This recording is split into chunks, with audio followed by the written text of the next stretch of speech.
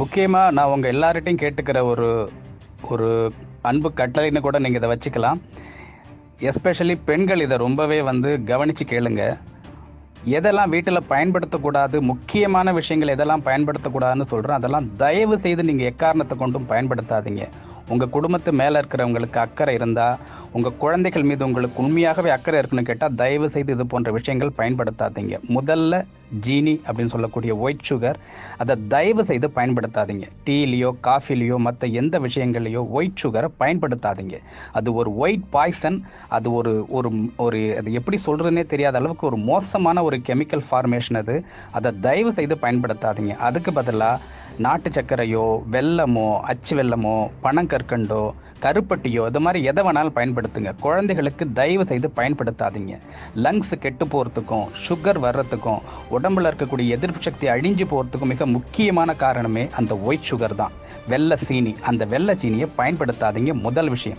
இரண்டாவது விஷயம் ரீஃபைண்ட் ஆயிலை தயவு செய்து பயன்படுத்தாதீங்க. எந்த சூழ்நிலையிலையும் ரீஃபைண்ட் ஆயிலை பயன்படுத்தாதீங்க. நாட்டு மர செக்கு எங்கே கிடைச்சாலும் போய் வாங்கிட்டு வந்து அதை தயவு செய்து அதை பயன்படுத்துங்க.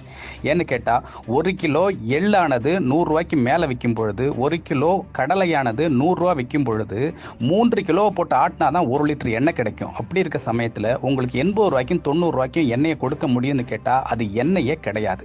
அது எல்லாமே பூமியிலேருந்து எடுக்கக்கூடிய மினரல் ஆயில்ஸ் அதை தான் நம்ம பயன்படுத்தணும் தயவு செய்து அதை பயன்படுத்தாதீங்க. மூன்றாவது விஷயம் மைதாவை எக்காரணத்தை கொண்டும் பயன்படுத்தாதீங்க. பரோட்டா வகைகளையோ மைதா சம்பந்தப்பட்ட இந்த பப்ஸ் இந்த மாதிரி விஷயங்களையோ குழந்தைகளுக்கு தயவு செய்து கொடுக்காதீங்க. அதே மாதிரி உடலுக்கு ஏதாவது பிரச்சனைகள் வரும்பொழுது டாக்டர்கிட்ட தூக்கிட்டு போயிட்டு உடனே உடனே இன்ஜெக்ஷன் போடுறதையோ மாத்திரை கொடுக்கறதையோ தயவு செய்து நிப்பாட்டுங்க.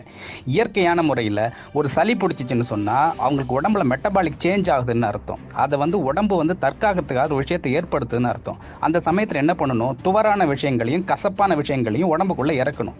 அதை இறக்கும் பொழுது ஆட்டோமேட்டிக்காக உங்களுக்கு இம்யூன் பவர் வரும் எதிர்ப்பு சக்தி உண்டாகி தானாகவே உடம்பு அதை வந்து தாங்கிக்கிறதுக்கூடிய சக்தியை வந்து உண்டாக்கும். அதனால இந்த மாதிரி சின்ன சின்ன விஷயங்களுக்கெல்லாம் டாக்டர்கிட்ட தூக்கிட்டு போகாதீங்க. இதை முக்கியமாக இந்த மூன்றையும் முதல்ல தவிர்த்துருங்க. நீங்கள் எந்த ஃபுட்டு வேணாலும் யூஸ் பண்ணுங்க. ஆனால் அதோட இன்க்ரீடியன்ஸ் என்னன்றதை பாருங்கள் கோல்கேட்டு பேஸ்ட்டு வீட்டில் யூஸ் பண்ணால் தயவு செய்து அதை தூக்கி எறிஞ்சிருங்க. அது மாதிரி ஒரு கெமிக்கல் ப்ராடக்ட் எதுவுமே கிடையாது.